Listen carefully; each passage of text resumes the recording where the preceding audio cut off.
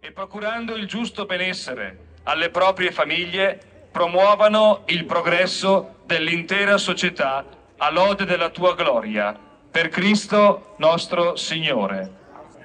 Il Signore benedica voi, le vostre attività, le vostre macchine, tutto quello che coopera al vostro lavoro, nel nome del Padre, del Figlio e dello Spirito Santo. Amen. Ora ci portiamo in chiesa e ricordo che durante la celebrazione, anzi al termine della celebrazione, dopo la comunione, a tutti quelli che sono qui con i trattori, tutti gli agricoltori, dare, verrete verso l'altare e vi daremo un segno, un portachiavi con l'immagine di San Benedetto e con la preghiera, quindi vi aspettiamo tutti in chiesa. Siamo qui con l'assessore Alberto Canobbio, tra le tante cose assessore anche dell'agricoltura, al quale chiediamo eh, anche l'agricoltura oggi come gran parte dei lavori ha un aspetto burocratico, amministrativo importante e anche difficile da gestire. Ecco, qual è il tuo compito in tal senso per facilitare il lavoro dei nostri agricoltori? Allora, eh, mettiamo già in chiaro che a livello amministrativo eh, l'assessore ha ben poche possibilità di interferire e di eh, avviare perché non è un legislatore. Quello che deve fare l'assessore, nel mio caso, è cercare di portare a, a conoscenza le informazioni che vengono date dalle varie istituzioni superiori a noi, eh, regione, eh, governo Europa, alle nostre aziende in maniera da poterle aiutare a fare tutti quei passi che servono per andare nella direzione che danno le eh, ordinanze e, le, e la legislazione. Questo è il nostro compito, cercare di informare soprattutto anche non solo le aziende ma anche possibilmente anche la cittadinanza su quello che viene eh, eh, legiferato a livello superiore al nostro. Perfetto, grazie. E invece per quanto riguarda l'aspetto più tradizionale del lavoro agricolo, si dice sempre, spesso che la terra è bassa, o almeno lo si diceva una volta, però anche guardandoci intorno le, la tecnologia forse ha anche aiutato con gli anni a facilitare certi aspetti del lavoro. È un lavoro, oggi il lavoro degli agricoltori è un lavoro più facile, facilissimo, oppure bisogna fare qualche precisazione? Allora, torniamo ancora, ribadisco, la terra è bassa. È sempre bassa. Quindi eh, sicuramente il progresso, la meccanizzazione, la tecnologia ci sta aiutando, però soprattutto anche nei lavori, eh, chi ha per esempio degli allevamenti zootecnici, la manualità è ancora, eh, è ancora in, primo, in, primo, posto.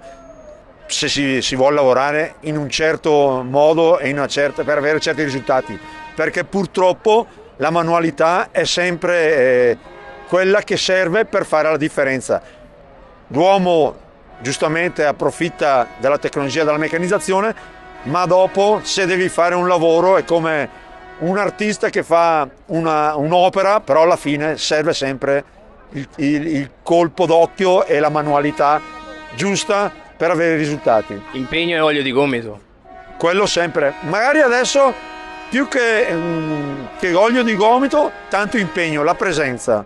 La presenza e soprattutto, ecco, quando c'è ancora da intervenire manualmente bisogna farlo, perché le macchine arrivano un po' dappertutto ma non da per tutte le parti. Grazie mille e buona festa. Grazie anche a voi.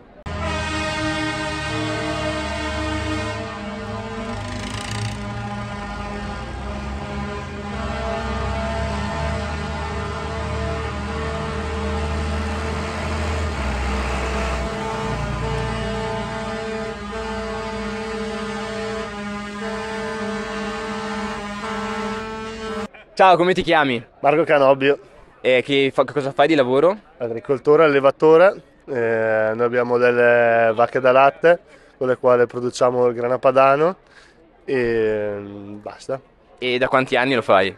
Lo faccio, sono nove anni e sono in azienda, la mia azienda è composta da altri tre ragazzi giovani, mio fratello e altri miei due cugini, siamo tutti sotto i 30 anni e siamo, abbiamo deciso di condividere tutta questa passione che ci è stata tramandata da generazioni, dai nostri nonni e poi tramite i nostri genitori Quindi eh, insomma hai detto passione, quindi ti piace, cos'è l'aspetto che ti piace di più di questo lavoro? Ma è avere un rapporto, comunque dicono di no alla gente, ma io ho un rapporto con gli animali con cui lavoro tutti i giorni di qua e, e poi perché credo che mh, diamo una mano per dare una, una mano a- all'ambiente e a tenere la biodiversità nelle campagne e comunque anche che tenendo solo pulite le rive, i fossi di qua, eh, col nostro aiuto penso che anche magari un'innovazione potrebbe anche non esserci qua nelle nostre zone perché usando sempre i canali di irrigazione sempre puliti riusciamo a,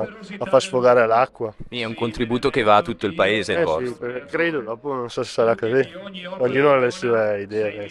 E perché sei qui?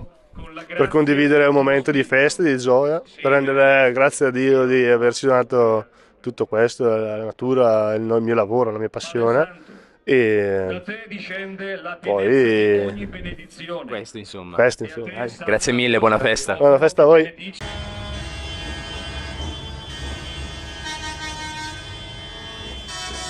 Ciao, Ciao. come ti chiami? Mi chiamo Giovanni Serafini, E che lavoro fai? sono agricoltore da un bel po' di tempo. Eh, Sono nato nel 1958 e praticamente ho iniziato a fare l'agricoltore eh, da subito, perché una volta si lavorava aiutando in- eh, l'azienda, insomma si è nati lì, Cascina, eh, poi si andava a scuola anche, cioè si lavorava e poi si andava anche a scuola. E dopo un certo punto ehm, ho chiesto a mio papà, sto a casa a lavorare ormai, sono già qui. E da, penso da 18 anni in poi eh, ho sempre lavorato in azienda. Esperto quindi ormai del tuo lavoro. Eh sì. Ecco, cosa credi che possa insegnare il, il tuo lavoro eh, al- a tutti e in particolare alle giovani eh, generazioni? Ma io penso che mm, bisogna fondare le nostre radici anche nel passato, cioè l'agricoltura è sempre stata legata al modello familiare di conduzione. Eh, io sono sposato, vivo in Cascina con la mia famiglia, ho quattro figli. Eh, poi, eh, sai, eh, se si perde questo ancoraggio, cioè la famiglia, il lavoro, eh, così si perde un po' la dimensione eh, che è stata sempre quella dell'agricoltura, cioè perché l'agricoltura noi siamo legati un po' al tempo, alle condizioni del tempo. Eh, bisogna- non bisogna mai imprecare quando succedono gli eventi atmosferici e così, perché eh, fa parte della nostra dimensione, cioè possiamo fare le assicurazioni oggi, no? Ok, però ovviamente c'è sempre lo scotto da pagare, qualcosa da pagare, le malattie negli animali, rotture nelle macchine, Cose imprevedibili. cose imprevedibili, cioè una rottura di una macchina costa anche 30, 40, 50 mila euro, cioè cioè non è una rottura da poco, però ovviamente fa parte del contesto del lavoro, eh, così oggi c'è tanta soddisfazione a lavorare perché ovviamente hai tutte le macchine a disposizione che ti possono aiutare eh, diminuendo il sacrificio, no? Eh, chi specialmente ha fatto i sacrifici una volta, io vengo dall'epoca dove c'erano i cavalli, no? e c'era tanta manodopera, eh, il lavoro era un sacrificio continuo, cioè era, non, non non avevamo neanche gli strumenti di lavoro, i guanti oggi, abbiamo i guanti, gli indumenti di lavoro adeguati, una volta no, era una sofferenza unica per il freddo, per il caldo e così via. Beh, oggi, sai, eh, siamo moderni anche noi, Più tecnologici. cioè più tecnologici, Cioè, abbiamo il robot in stalla, cioè la tecnologia satellitare per la semina, cioè è una dimensione che poi si è creata man mano, cioè non è che è arrivata di colpo, cioè anche noi abbiamo dovuto eh, eh, aggiornarci, studiare, capire gli eventi come succedevano per stare ai tempi, come in tutti i settori, cioè non c'è niente di più, niente di meno. Poi ai giovani, io penso che c'è tanta gioventù oggi che ha interesse nell'agricoltura, anche perché è, questo eh, misto di applicazione fisica, no? tanta gente va in palestra sì. per fare così, no? Non serve, guarda, vieni a lavorare in campagna che ti fai bei muscoli, belle spalle, poi hai anche il tempo di andare in palestra certo. per divertimento, quello ce l'hai sempre. E anche gli orari, sugli orari anche quelli abbiamo recuperato tantissimo. Oggi si può programmare anche, sono de- dei momenti come adesso, il tempo è un po' ballerino, dobbiamo seminare, magari fai anche 13, 14, 15 ore nei giorni che puoi. Gli altri giorni fai officina, fai 7, 8 ore, 10 ore al massimo. Perfetto, ok, grazie. Eh, un'altra domanda, io so che alla fine della celebrazione Don Davide vi darà eh, un gadget ispirato alla figura del santo patrono della nostra unità pastorale, che è San Benedetto, il quale ha inventato la regola prega e lavora, ora et labora.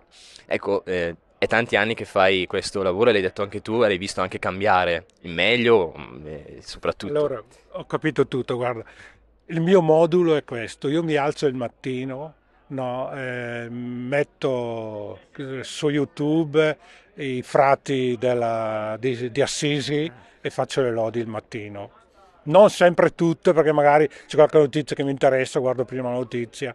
Cioè, eh, seguo le lodi il mattino dei frati di, di cose, poi ehm, seguo qualsiasi tema che sia legato a Dio, fede, anche nel mondo del lavoro, quello che succede negli Stati Uniti, in America del Sud, in Asia, cioè tutti i contesti, ma che riguardano sempre lavoro e fede, comportamento delle persone, quello che succede, ma sempre legato alla fede. Quello lì è il mio quit, cioè io vivo per quello.